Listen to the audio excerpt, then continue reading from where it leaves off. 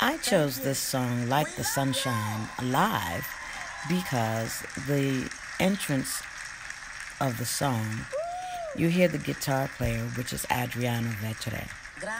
He, I knew him uh, 15 years, and the great musician that he was, and seeing that he was no longer here with us, I wanted to pay homage to Adriano as the great musician that he was with this original piece written by his bass player, Francesco Mazzilli.